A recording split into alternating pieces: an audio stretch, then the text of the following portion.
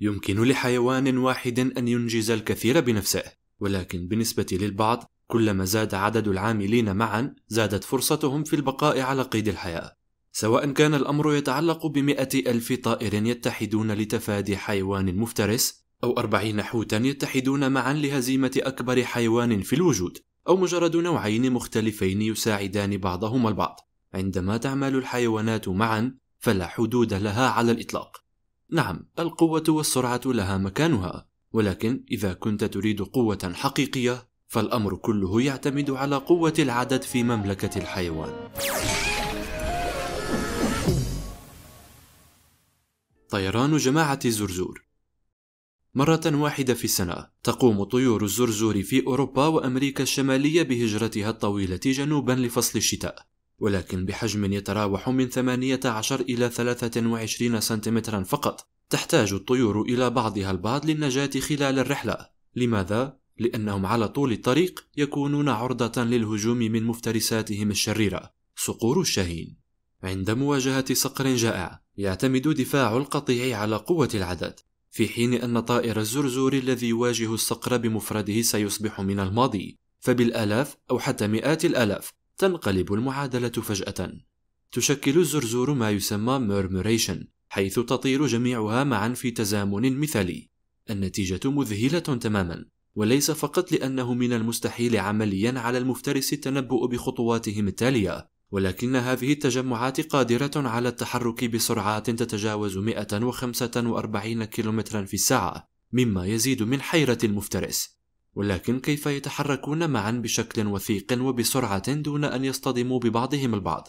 حسنا يعتقد العلماء أن كل زرزور يتواصل مع عدد قليل من الطيور الأخرى القريبة ويتبع إشاراتهم وينسخ تحركاتهم في عملية تعرف باسم الارتباط الخالي من المقاييس لذلك عندما يتحرك أحد الطيور تنسخ ذلك الأخرى من حوله مثل نبض يتموج عبر السرب لكنها ليست طريقة مضمونة لتجنب الحيوانات المفترسة. يمكن للصقور أن تشن هجوما مفاجئا يؤدي إلى طرد الطائر من المجموعة. يتمتع المفترس بفرصة أفضل بكثير أمام طائر واحد يمكنه تتبعه على عكس مئات الآلاف من الطيور التي تتدحرج فوق بعضها البعض. ولكن الزرزور قد تفاعلت مع هذا أيضا. تعيد الطيور ترتيب المجموعة بحيث لا يكون من الواضح دائما أي الطيور تقود المجموعة. بهذا لا يكون لدى الصقر أي فكرة عن المكان الذي سيتحرك فيه السرب بعد ذلك أو أي طائر سيكون من الأسهل إزاحته. نعم يمكن لهذه الطيور الصغيرة بالمئات أو بالآلاف عكس المعركة والتغلب على الحيوانات المفترسة. ونحصل نحن على عرض مذهل. جماعة الجاموس. من السماء إلى السافانا الآن حان الوقت للتعرف على الجاموس. في سهول أفريقيا الواسعة والمفتوحة. يتعرض الجاموس لخطر مستمر من الحيوانات المفترسة الأعلى في النظام البيئي. الأسود. لحماية أنفسهم تتحد الجاموس معا. ليس في قطعان مكونة من عشرة أو حتى مئة بل ما يصل إلى ألف. مع زمرة الأسود التي تتراوح من فردين إلى أربعين فردا يكون للجاموس اليد العليا من حيث العدد وبالتالي القوة. عند السفر في مجموعات كبيرة مثل هذه يكون من الصعب جدا التغلب على الجواميس. أثناء سفر القطيع تتم حماية الجواميس الأصغر والأضعف في منتصف المجموعة بحلقة خارجية من الأعضاء الأقوى. معا يمكن للقطيع أن يتعاون لحماية الضعفاء وحراسة الأهداف الأسهل من هجمات الأسود المفاجئة. لكنهم لا يستخدمون أعدادهم للدفاع فقط. يمكن لقطعان الجاموس أن تشن هجوما فتطارد مجموعات كاملة من الأسود. أو حتى تباغت أسودا نائمة تتحد الجواميس معا وتقتحم زمرة الأسود فتشتت التي تستيقظ وتدوس على تلك التي تظل نائمة. واحدا ضد واحد قد يكون للأسد الأفضلية ولكن عندما يهجم القطيع بأكمله نادرا ما تتاح للأسود فرصة. حتى لو نجح الأسد في إسقاط جاموس فقد يستغرق الأمر ما يقرب من ثلاثين دقيقة لقتله فعليا. تمتلك الجواميس جلودا قاسية للغاية. مما يجعل السيطرة عليها أصعب بكثير من معظم الفرائس. ولكن عندما يتعلق الأمر بالجاموس إذا هاجمت واحدا فإنك ستغضب القطيع بأكمله. قد تبدو لذيذة للأسد لكن من المؤكد أن هذه الحيوانات ليست وجبة سهلة. مطبخ النحل. ربما سمعت أنه إذا استخدمت نحلة العسل لدغتها فإنها ستموت بعد فترة وجيزة. ولكن هذا ليس هو الحال دائما. إذا لدغت نحلة حيوانا ثديا ذو جلد لحمي فإن شوكة إبرتها ستلتصق مما يؤدي إلى تمزيق النحلة من الداخل مما يؤدي إلى نهاية مروعة. ولكن مع الحيوانات المفترسة لهذه الحشرة مثل العناكب لا تلتصق الشوكة مما يسمح للنحلة بإيصال سمها من خلال العديد من اللسعات المؤلمة. على الرغم من أنه نادرا ما تقاوم نحلة واحدة فقط. يمكن أن يعيش نحل العسل في خلايا مع ما يزيد عن ستين ألف نحلة أخرى. وعندما تقوم أحدها باللسع فإنها تطلق فيرومون إنذار لتنبيه النحل الآخر المجاور بوجود دخيل.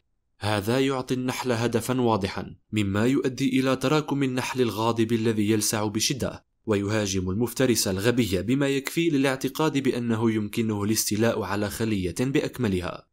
على الرغم من أن هذه ليست الطريقة الوحيدة التي يدافع بها النحل عن منازلهم تعلمت إحدى الأنواع الفرعية المعروفة باسم نحل العسل الياباني طريقة دفاع فريدة لا تتضمن إبرها إذا اكتشفوا حيوانا مفترسا مثل الدبور الآسيوي العملاق. يقوم النحل بتكوين كرة ضيقة حوله ويضربون بأجنحتهم بشكل محموم لكنهم لا يحاولون رفعه في الهواء وإسقاطه على الأرض بل يولدون الحرارة. الكثير منها.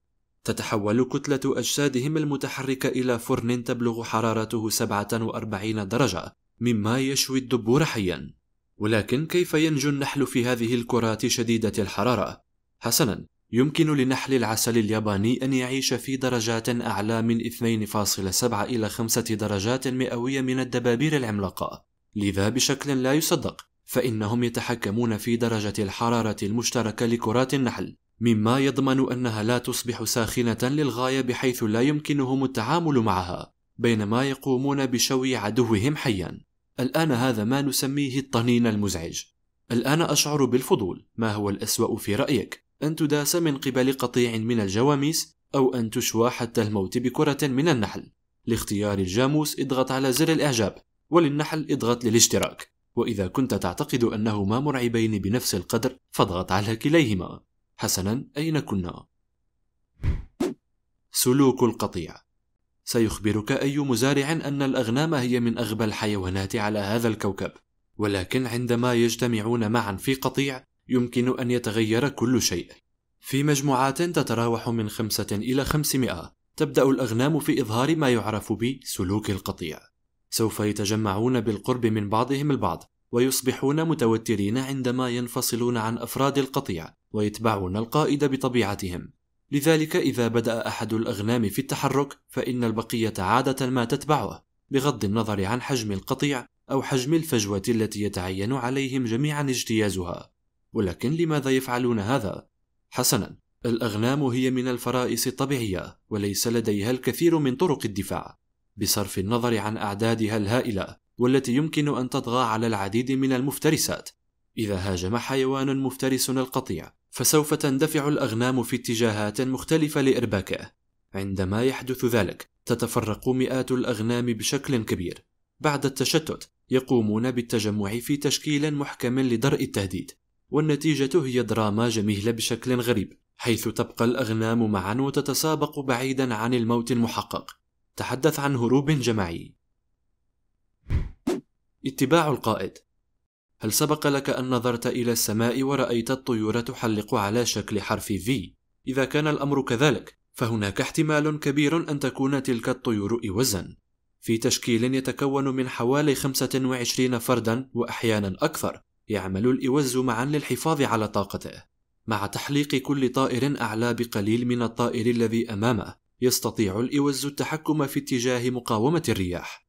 نظرا لأن الطير الموجود على رأس المجموعة يواجه أكبر قدر من السحب فإن الطيور تتناوب على الطيران في المقدمة وتتراجع عندما تتعب. من خلال العمل معا يمكن للإوز أن يطير لفترة أطول مع مواجهة معظمها لمقاومة أقل للرياح. إذا ماذا سيحدث إذا هاجرت الإوزة بمفردها؟ حسنا هذا ما يفعله البجع والنتائج ليست مثالية. بمفرده في مواجهة الريح يضطر البجع الواحد إلى ضرب جناحيه بوتيرة أكبر مما يسبب الإجهاد وارتفاع معدل ضربات القلب. من ناحية أخرى تبذل مجموعة من الإوز طاقة أقل بشكل عام حتى تتمكن من الاستمرار في الطيران. ليس هذا فحسب بل إن شكل V يعني أن الإوز يمكنه ضمان تواجد المجموعة بأكملها معا. عند الطيران في ظروف صعبة مع وجود خطر انقضاض الطيور الجارحة في أي وقت. تحتاج الجماعة إلى معرفة من لا يزال موجودا ومن لم ينجو. وإذا شعرت أنك لاحظت هذا الشكل في مكان آخر فقد يكون السبب هو أن الطيارين المقاتلين يسافرون في نفس التشكيل لنفس السبب بالضبط. هذا صحيح في تكوين آمن كهذا. لا يوجد مكان على وجه الأرض لا يستطيع الإوز الوصول إليه حتى هونغ كونغ. رحلة مجانية.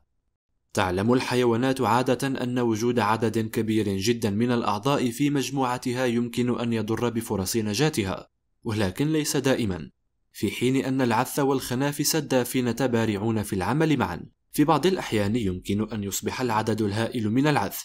أه، حسنا غامرا.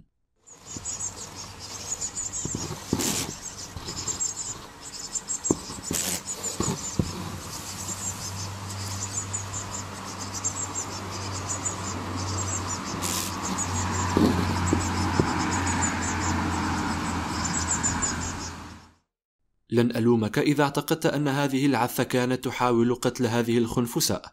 ولكن ماذا لو أخبرتك أنهم كانوا يحاولون فقط الحصول على توصيل مجاني؟ نعم نظرا لأن الخنافس الدافنة تضع بيضها في جثث الحيوانات. يتعين على الخنافس أن تتنافس مع طوفان بيض الذباب والديدان التي غالبا ما تصل إلى هناك أولا. لا تستطيع خنفساء واحدة وحدها أن تأكل ما يكفي من الديدان والبيض لإفساح المجال ليرقاتها. لذا فهي تجلب معها العث الذي يأكل الديدان وبيض الذبابة ويرقات أي شيء ليس من الخنفساء الدافنة. في مقابل إفساح المجال يحصل العث على رحلة مجانية من جثة إلى أخرى وتنجح الصفقة للجميع. حسنا إلا إذا انتهى بهم الأمر في موقف مثل هذا. إذا أصبح العدد الهائل من العث الذي يستفيد من رحلة الخنفساء المجانية أكثر من اللازم فسوف يطغى على مضيفه ويمنعه من القدرة على التحرك. لذا فإن الأمر برمته يكمن في الاسم. قد تكون أعداد العث العابثة أقوى من قدرة الخنفساء العابثة. خذ بيدي.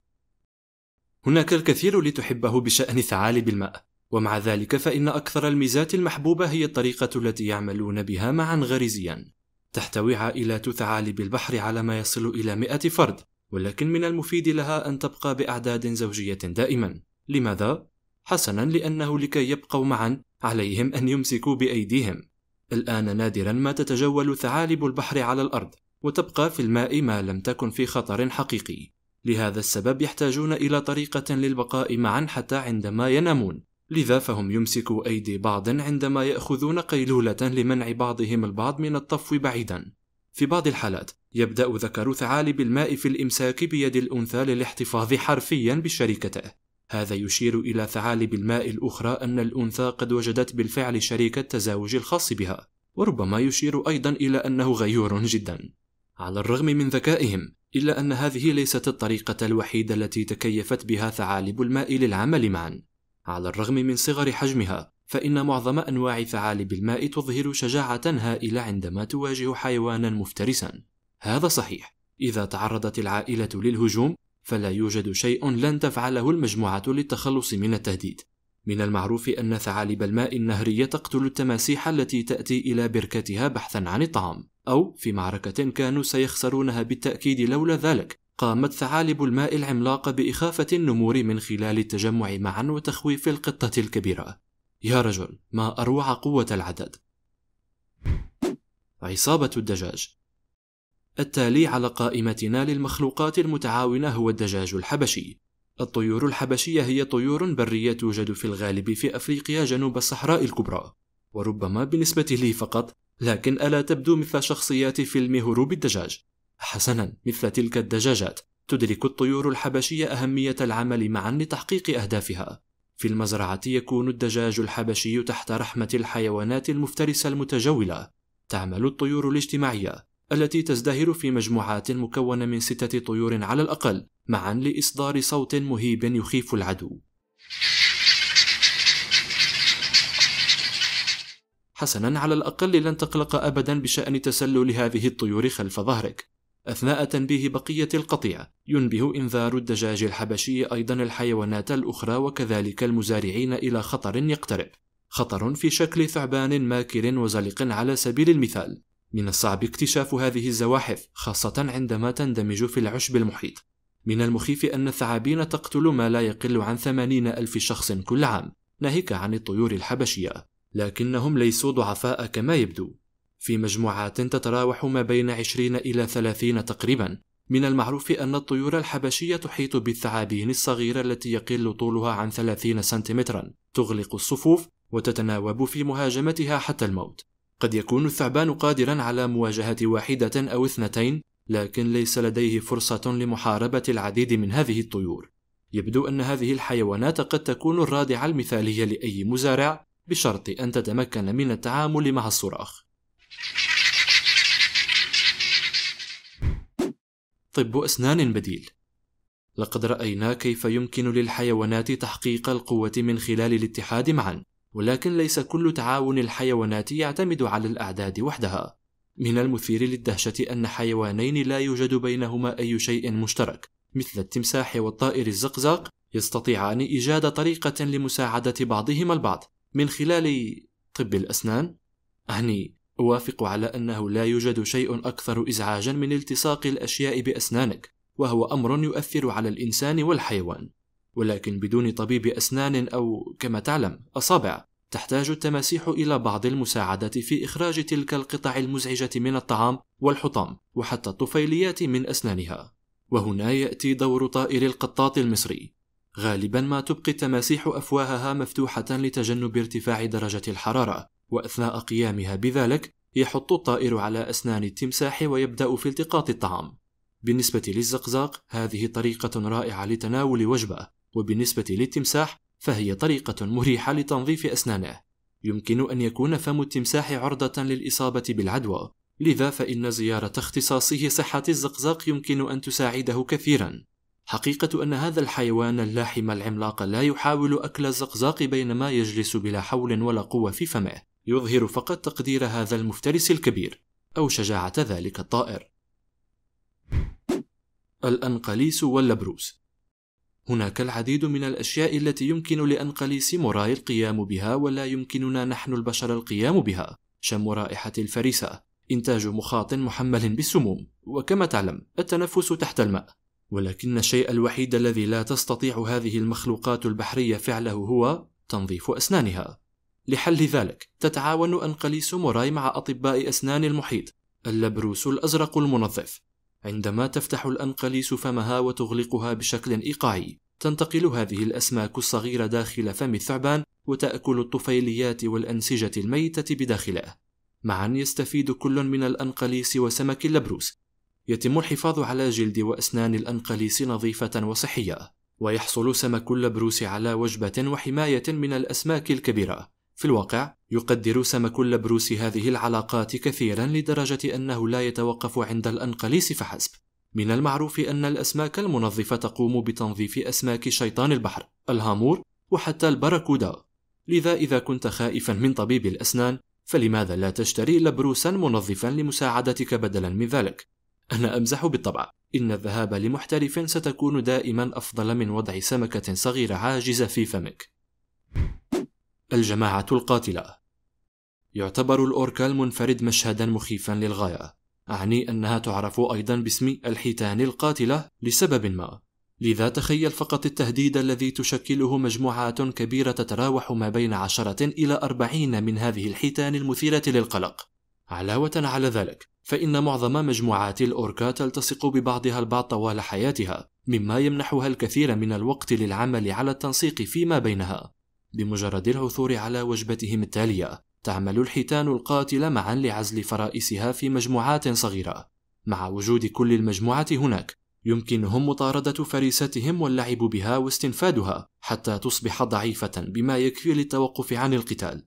لنفترض أن هناك عشرة حيتان تقوم بالصيد يتم تقسيم الطاقة بين المجموعة. هذا يعني أن كل حوت يبذل طاقة أقل بكثير مما يبذله للصيد بمفرده. وكلما زاد عدد الحيتان القاتلة أصبح من الأسهل محاصرة الفريسة. هذا يمنع الحاجة إلى مطاردات طويلة ومتعبة مما يساعد الأوركا على توفير المزيد من الطاقة. ولكن الأمر الأكثر رعبا هو أن الحيتان القاتلة تدرك أن لديها المزيد من القوة عندما يكون عددها أكبر. في الواقع يمكن أن تصبح قوية جدا لدرجة أنه من المعروف أن المجموعات تفترس مجموعة من الكائنات البحرية المرعبة مثل الحبار العملاق الدلافين حيتان العنبر وحتى الحيتان الزرقاء. نعم ليس لدى الأوركا أي مشكلة في محاولة التغلب على أكبر حيوان على هذا الكوكب والذي يمكن أن يصل طوله إلى أكثر من 30 مترا ووزنه إلى 200 طن. ولكن كيف يصطادون مثل هذه الفريسة الكبيرة؟ حسنا تدور الحيتان القاتلة حول هدفها مما يزيد من صعوبة هروب الحيوان. سيتواصلون أيضا تحت الماء باستخدام نظام معقد من المكالمات الصوتية. هذا يضمن أن يكون كل فرد من الأوركا في المكان الذي يجب أن يكون فيه بالضبط مما يعني أن أي هجوم يقومون به هو مخطط منسق بشكل قاتل. لست متأكدا مما إذا كان هذا رائعا أم مرعبا. فلنجتمع معا. في ظل رياح القطب الجنوبي القاسية التي تبلغ 193 كم في الساعة ومع انخفاض الحرارة إلى ناقص 50 درجة مئوية تواجه بطاريق الإمبراطور مهمة صعبة في الحفاظ على الدفء. لهذا السبب تعيش هذه الطيور القوية في مستعمرات مع ما يصل إلى عشرة ألاف طائر آخر ليس فقط من أجل الدعم المعنوي ولكن من أجل الدفء. للحفاظ على حرارة أجسامها الثمينة أثناء وجودها على الأرض تتجمع بطاريق الإمبراطور معا مع ظهورها ضد اتجاه الرياح وتتجه نحو الأسفل وتتشارك حرارة أجسامها الجماعية.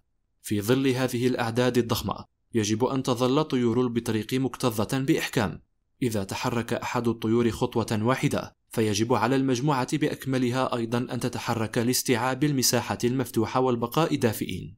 تشير الأبحاث إلى أنهم يقومون بحركات صغيرة كل 30 إلى 60 ثانية تقريبا. حيث يسافرون من 5 إلى 10 سنتيمترات فقط مع كل خطوة مع مرور الوقت يؤدي هذا إلى إعادة تنظيم كبيرة للتجمع بحيث يحصل الأفراد الموجودون على الحافة في النهاية على دور للتدفئة في المنتصف. الآن في الوقت الحقيقي يبدو أن طيور البطريق واقفة في مكانها، ليست مثيرة للاهتمام في البداية، لكن اللقطات المسرعة تحكي قصة مختلفة. عند التسريع نرى كيف تتحرك طيور البطريق في أمواج، تحرك هذه الموجات المجموعة ويتم تحفيزها عندما ينضم بطريق جديد إلى التجمع. بقدر ما يبدو الأمر مريحا فإن طيور البطريق الفردية عادة ما تقضي حوالي 50 دقيقة فقط في التجمع. ذلك لأن درجات الحرارة في الداخل يمكن أن تصبح ساخنة جدا تصل إلى 38 درجة وللطيور حدود يمكنها تحملها. لذا إذا كنت لا تستطيع تحمل الحرارة فاخرج من التجمع. زملاء الصيد. لقد رأينا كيف يمكن للفرائس أن تعمل معا ولكن هل تعلم أن المفترسات يمكنها أن تفعل الشيء نفسه بالضبط؟ خذ الذئب والغرير على سبيل المثال. عندما يلتقي هذان المفترسان ببعضهما البعض فإنهما لا يتقاتلان. بدلا من ذلك يعملان معا مما يضاعف قوة الصيد لديهما. ولكن إليك الشيء الغريب. الذئاب هي مخلوقات منعزلة في معظم الأوقات. إما تعيش بمفردها أو في مجموعات عائلية صغيرة. تكمن فائدة التعاون مع الغرير في أنه عند اصطياد فريسة مراوغة تفضل الاختباء. يحكم الذئب المناطق الموجودة فوق سطح الأرض بينما يسود الغرير تحتها. أثناء الصيد سيطارد الذئب الفريسة على مستوى الأرض مع استعداد الغرير للسيطرة عليها في حالة توجهها تحت الأرض. لنفترض أن الفريسة هي حيوان جحر مثل السنجاب الأرضي. تصطاد الذئاب التي تعمل مع الغرير السناجب بمقدار واحد على ثلاثة أكثر من الذئاب التي تعمل بمفردها. لكن هذا لا يعني بالضرورة أن الحيوانين يحبان بعضهما البعض فإنهما يتنافسان على نفس الوجبة إلا أن الاثنين يحافظان على الطاقة عندما يقسمان العمل بينهما. وهذا يعني عملا أقل مقابل طعام أكثر وهو ما أسميه ربحا للجانبين. خطر الدلافين. لا يوجد مخلوق أكثر رعبا في المحيط بأكمله من سمكة القرش. أيا كنت سمكة أو صديقا إذا هاجمك قرش فستتجه مباشرة إلى قبرك المائي. هذا ما لم تكن دلفينا قاروري الأنف. في الماضي كان من المعروف أن الدلافين تقتل القروش وعلى الرغم من أن الدلافين لا يمكنها أبدا القيام بذلك بمفردها إلا أنها في مجموعات مكونة من عشرين تقريبا يمكنها شن هجوم قوي جدا. على الرغم من أنها ليست مهمة سهلة. يمكن أن تنمو بعض أنواع القروش مثل أسماك القرش البيضاء الكبيرة حتى يصل طولها إلى 6.4 أمتار ولها جلد قاس يشبه ورق الصنفرة ولا يمكن اختراقه إلا بأسنان حادة مثل أسنانها. بالمقارنة يمكن أن تنمو الدلافين قارورية الأنف بطول حوالي 3.7 أمتار فقط ويمكن ثقب جلدها الناعم بسهولة. لكن الميزة التي تتمتع بها الدلافين هي خفة الحركة، السرعة، وحجم المجموعة. في حين أن القروش بطيئة نسبيا وتصطاد منعزلة، فإن الدلافين حيوانات رشيقة واجتماعية تسبح جميعا للدفاع عن أحد أفراد المجموعة في حالة هجوم سمك القرش. يتكون أنف الدلافين من عظم سميك ذو نهاية حادة، والتي يمكن أن توجه ضربة قاسية للقرش، وخاصة لبطن القرش الناعم. حتى لو لم يؤدي هذا إلى إصابة القرش بإصابة قاتلة، فإن هذه الضربات المتكررة يمكن أن تكون كافية لجعله يفكر مليا قبل استهداف المجموعة. أعتقد أن هذه طريقة ممتازة لتحويل المد. بابلز وبيلا الآن رأينا الحيوانات في جميع أنحاء العالم تضطر إلى الاعتماد على بعضها البعض من أجل البقاء، لكن هل تعلم ما الذي قد يذيب قلبك حقا؟ إذا كان هناك حيوانان من نوعين مختلفين قد شكلا صداقة وثيقة بطريقة ما. آه وهلا نظرت إلى هذا؟ تعرف على بابلز الفيل الأفريقي وبيلا كلبة اللابرادور السوداء. كلاهما من سكان ميرتل بيتش سفاري في كارولاينا الجنوبية وأصبحتا أفضل الأصدقاء مع مرور الوقت. غالبا ما يمكن رؤية الاثنتين وهما تلعبان مع بعضهما البعض في الماء ترمي بابلز الكرة بخرطومها. بينما تقفز بيلا من ظهر بابلز وتسبح لاستعادة الكرة. إذا لم يكن هذا لطيفا فلا أعرف ماذا يكون. تنحدر بابلز في الأصل من أفريقيا ولكنها جاءت إلى الملجأ في عام 83 بعد مقتل والديها على يد الصيادين بسبب أنيابهم العاجية. لقد تم الاعتناء بها جيدا حتى أنها ظهرت على الشاشة الفضية في فيلم Ace Ventura: When Nature Calls لكن في عام 2007 تخلى أحد المقاولين الذي استأجرته المؤسسة لبناء مسبح عن جروته السوداء من نوع لابرادور هناك. بدلا من التوق إلى مالكها شكلت علاقة غير متوقعة ولكن وثيقة بشكل لا يصدق مع بابلز من خلال حبهما المشترك للنشاطات المائية. وحتى يومنا هذا لا يمكن فصل الثنائي الديناميكي أبدا ربما لأنه من المفيد حقا أن يكون لديك صديق يعمل أيضا كمنصة غوص. أي من هذه المخلوقات المتعاونة تعتقد أنها الأقوى؟ وهل سبق لك أن رأيت أي ثنائي بأم عينيك؟ أخبرني في التعليقات أدناه وشكرا على المشاهدة